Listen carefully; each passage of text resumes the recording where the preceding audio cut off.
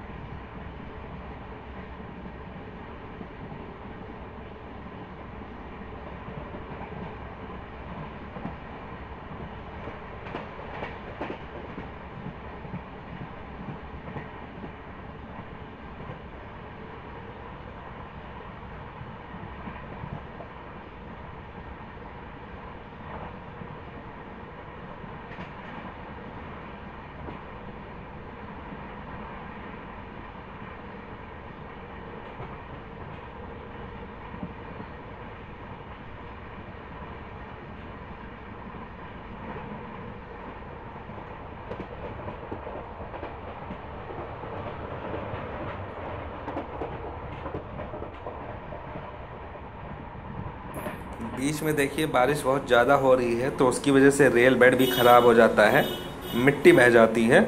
जैसे यहाँ पर देख सकते हैं कितना ज़्यादा भर गया है पानी, और कहीं कहीं पर मिट्टी गायब भी होने लगी है, बीच में देख सकते हैं। तो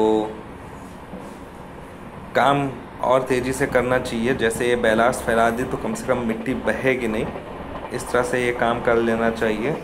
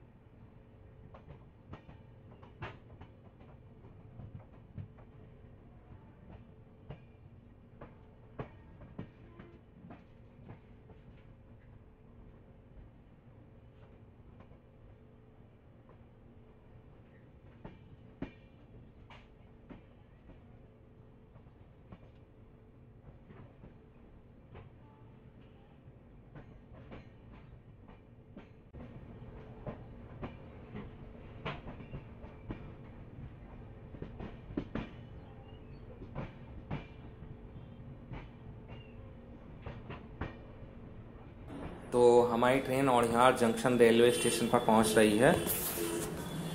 तो कई जगह आपने देखा, रेल बेड तैयार है, उसके ऊपर बैलास्ट नहीं डाला गया है, कई जगह बैलास्ट वगैरह सब फैला दिया गया है, लेकिन स्लीपर नहीं डाले गए हैं। कई जगह स्लीपर भी डाल दिए गए हैं, बैलास्ट भी डाल दिया गया है, लेकिन उसके ऊपर ट्रैक भी नहीं डाला गया है। और कई जगह ऐसे है कि जहाँ पर ट्रैक भी डालने का काम कर लिया गया है। तो कई स्पष्ट हमने आप लोगों को व्यू दिखाए वीडियो में। अगर आप लोगों को भी वीडियो पसंद आया तो वीडियो को लाइक जो कीजिएगा चैनल को सब्सक्राइब कीजिएगा। दुआओं में याद रखिएगा, अपना ख्याल रखिएगा। अगर आप लोग भी हमें वीडियो भेजना चाहें तो भेज सकते हैं। मेरा व्हाट्सअप नंबर वीडियो के शुरुआत में दिया हुआ है। वहाँ से नंबर लेकर व्हाट्सएप या टेलीग्राम के माध्यम से वीडियो बनाकर भेज सकते हैं। वीडियो को लाइक कीजिएगा चैनल को सब्सक्राइब कीजिएगा वीडियो को शेयर कीजिएगा। दुआओं में याद रखिएगा, अपना ख्याल रखिएगा। अगले वीडियो में मिलेंगे एक नई अपडेट एक नई जानकारी के साथ। तब तक के लिए फ्रेंड्स जय हिंद।